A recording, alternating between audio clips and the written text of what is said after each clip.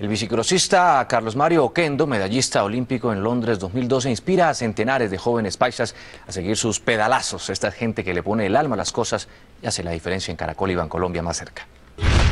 En el barrio de Belén, en el occidente de Medellín, fue construida esta pista de bicicross para formar campeones, como el medallista olímpico Carlos Mario Kendo, quien aparte de ser uno de los más expertos bicicrossistas del mundo, también dirige la Fundación Social BMX Más Humano. Fue después de los Olímpicos que el Social BMX como tal se consolidó y ha sido de eso que, estamos en, en este furor y estamos aportando a los demás deportistas.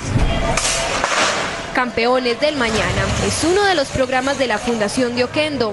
Aportarle a los deportistas de bajos recursos para que estos puedan pensar en que pueden mirar el deporte del bicicross como una forma de vivir. Hace siete meses, John Alexander Mosquera vino desde Urabá a probar suerte y aquí encontró apoyo. Desde el casco hasta la bicicleta le han sido proporcionados. Me dio la licencia, que cuesta mucho, y Oquendo me, me ha arreglado la cicla, que es que me ha estado siempre colaborándome. La meta de John Alexander es llegar a los Olímpicos de Río 2016, por eso pone toda el alma a sus entrenamientos. Si usted no tiene buen físico, no puede trabajar muy bien la técnica.